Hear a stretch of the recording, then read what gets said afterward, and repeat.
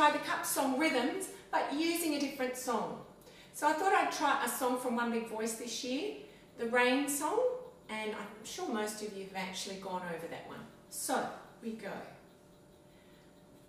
Can you hear the rain? It's such a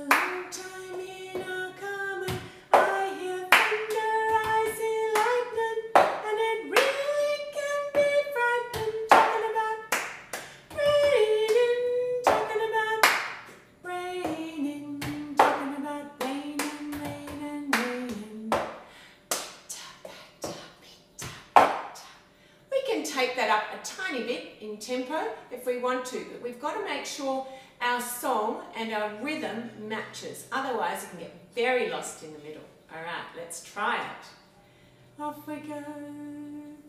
Can you hear the rain? It's such a long time